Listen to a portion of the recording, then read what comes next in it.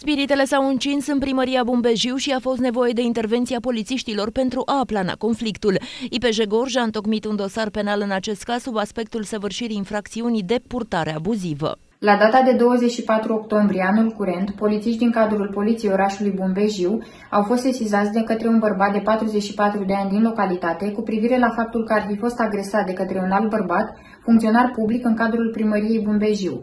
Din cercetările efectuate s-a stabilit faptul că bărbatul, în timp ce se afla în sediul primăriei, ar fi fost împins de către funcționarul public în urma unui conflict spontan. În cauză, polițiștii au întocmit dosar penal sub aspectul săvârșirii infracțiunii de purtare abuzivă. În timp ce se afla în sediul primăriei Bumbejiu, cetățeanul în cauză susține că ar fi fost agresat de către unul dintre subalternii primarului.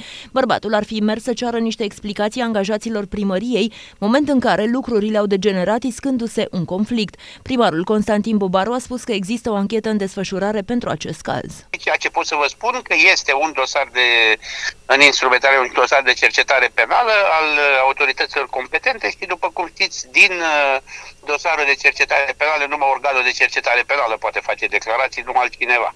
Primarul Constantin Bobaru a mai declarat că în urma acestei situații se va face în paralel o cercetare administrativă și în funcție de probele care vor fi aduse se vor lua măsurile necesare.